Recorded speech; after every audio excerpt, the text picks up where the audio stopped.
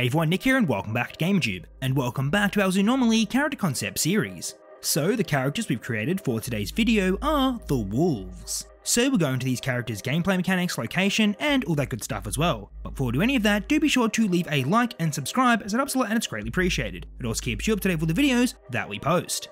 Also, as always, I'd just like to mention that what we say in this video is linked to the overall universe and lore of Zoonomaly. This is just a fun, fan-made character and we hope you enjoy. Alrighty, well, with that all out of the way, let's get into the character concept of the Wolves. So, previously in our Zoonomaly character concept series, we've been looking into the second zoo that has been affected by the Bloom Order.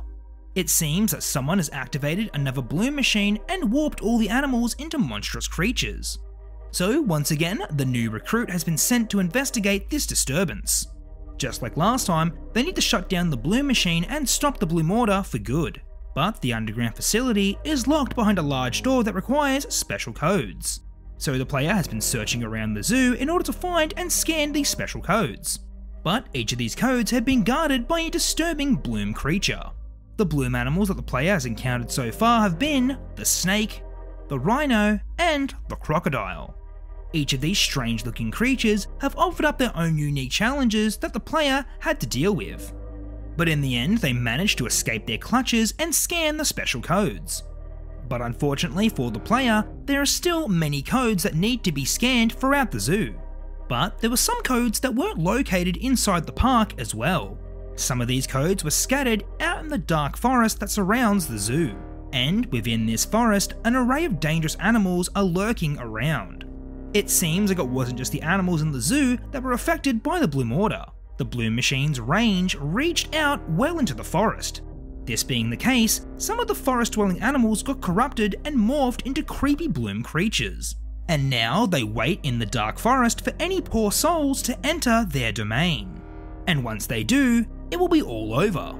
So now, let's introduce these creepy forest dwelling creatures. And the next bloom animal we have is the wolves. These strange looking animals usually hunt in packs. At any given time, there will be a minimum of three wolves lurking around.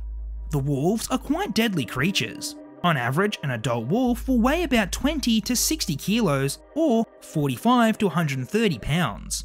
On all fours, the wolves measure to about 5 to 6 feet long, and standing upright about 6 to 7 feet tall. As for aggression, the wolves are highly territorial. They display aggressive behaviour when protecting their pack or hunting. They are known to be quite intelligent and have excellent hunting skills. The wolves are also quite fast. They can run up to speeds of about 35 miles per hour. But what is most interesting of all is their disturbing appearance. The wolves have mouths filled with razor sharp teeth and black dripping saliva, their bodies are covered in a matted grey fur with strange bare limbs sticking out. With these strange hairless limbs, it almost looks like another creature is wearing the wolf's skin. Anyone who enters the forest needs to be extremely careful. They would need to be aware of their surroundings and always watch their back. Soon enough, they will notice a number of glowing eyes in between the dark trees. And before they can even run away, the wolves would all strike at once. So, due to these deadly creatures, many of the investigators or intruders to the park stay well away from the forest. But the new recruit didn't have a choice. Some of the secret codes they needed to scan were inside the dark forest. So they set out and try to find them as quick as they can. Hopefully they can avoid these deadly wolves, but something tells them that wasn't going to be the case.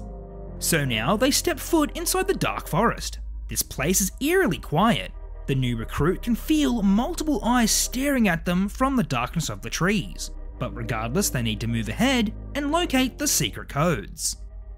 For their first task to find one of the codes, they need to follow a large pipe on the ground that leads through the forest.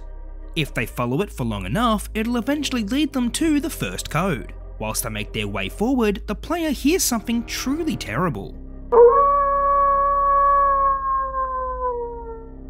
That was the last thing they wanted to hear right now. As they look to the left, they see the glowing eyes from behind the trees. They look to the right, and sure enough, there's more eyes staring at them as well. The player gets their Bloomer Bang ready to fire at whatever comes next. They couldn't use their Bloom Lance. It would be far too slow of a weapon to keep up with these fast creatures.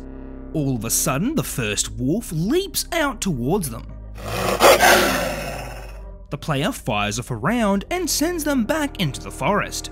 That was a close one. Now they only have 4 light bulbs left. For now, that bright blast from the Bloomerbang is keeping the wolves at bay. But they need to be careful not to run out of ammo, because out in the deep dark forest, there's definitely no light bulbs. As they continue to follow the pipe, they finally reach the first code. It was stuck to a signpost. Right before they scan it, another wolf leaps out and attacks.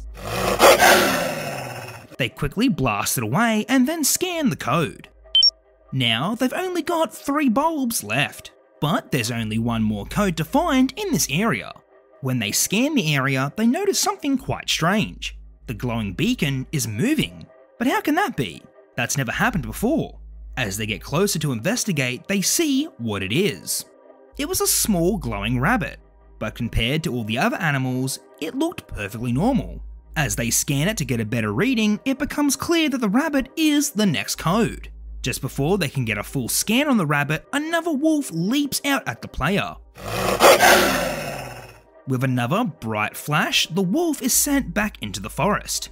But now, the rabbit is gone. So, in this last gameplay segment, the player needs to chase down the rabbit in order to scan it but in doing so, they'll also need to fend off the wolves as well. So, after a while of chasing the rabbit and blasting away the wolves, they finally corner the rabbit. They get a final scan on it and it transforms into the secret code. Finally, they have what they need and now they can leave this deadly forest. So the player makes a run for it, narrowly dodging attacks from the wolves here and there. But finally, they make it out and re-enter the park.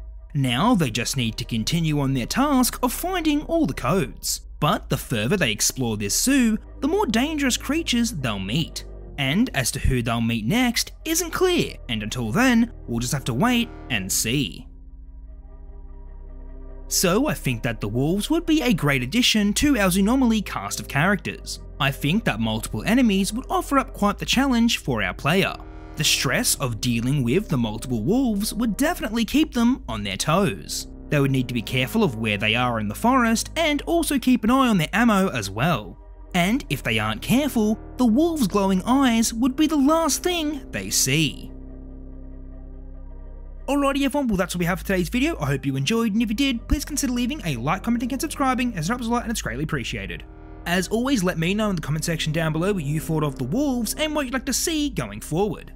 As always, I would like to thank you all for liking and watching the video and also commenting as well. And also a very big thank you to our GamerJoob members who help support the channel.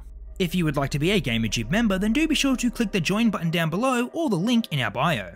But as always you don't need to be a paying member to enjoy our content, it's just if you'd like to help us that extra little bit. But alrighty everyone, until our next Zoonomaly character concept video, I'll catch you later, bye.